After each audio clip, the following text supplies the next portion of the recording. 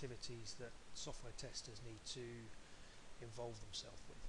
The first is developing tests in a test library and these will be a reusable set of tests that can be used in test runs against different versions of your product and against different configurations.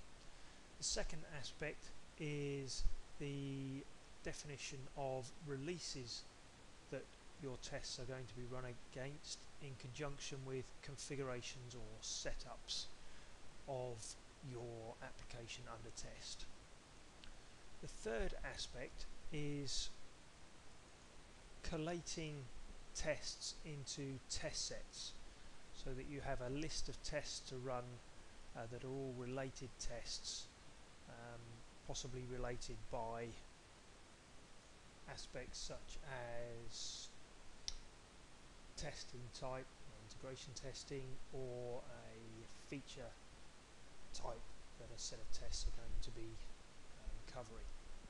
The fourth aspect then is the execution of those test sets and recording those test results. So in this example we're going to look at how that can be managed with a product called QA Complete or ALM Complete. And in this scenario we would define our tests in the test library. You can see here I've split my tests into functional integration and performance folders and those tests for example would include the usual items like uh, title name for the test, the status, so if it's going through an approval process, and then a description and perhaps who that test is going to be assigned to. We then define test steps along with the expected results for each of those tests. Once we've created a test library, we need to define the releases and the configurations that we're going to run those tests against. So in this example, under the releases tab we may have a main release and a patch release and you can see here within the main release we've got version 1 and version 2 and version 1 then may have a subset of builds or even iterations if you're in an agile development environment. In conjunction with that we will set up configurations so this is going to be a config or an environment that you're going to be running your tests against and here we can see configurations that have been grouped by OS type and that could be um, platform for example as well. You may also include specific aspects that relate to configuration settings on your application here. The trick here is getting that combination of releases and configurations that you're going to test against and those would be defined and allocated to the test sets we're going to run our tests against.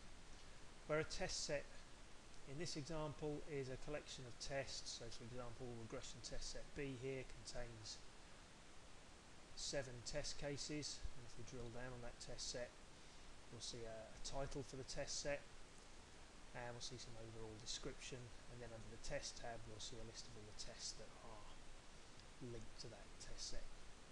The other key point here, going back to the releases and the configurations, is that this test set we are planning to run against two releases, version 2 and version 1, and three configurations, XPIE 8, XPIE 7, XPIE 6. All of this comes together then when we execute this test set. So if I click on the Run Now button for this test set, we'll see the test runner window come up and we can then decide which version of the product we're going to be running the test and test set against and the configuration. And we can then run these tests and step through each test in turn, executing the test steps and passing or failing the individual tests. After we've completed all the tests we can then pass, fail or block the overall test run and record that test result. So again those core test management activities are defining your test in a test library, defining the releases and configurations you wish to run a test set against and then creating that test set which consists of multiple tests. The execution of that test set and the individual tests then recorded as test results which will then be reported on.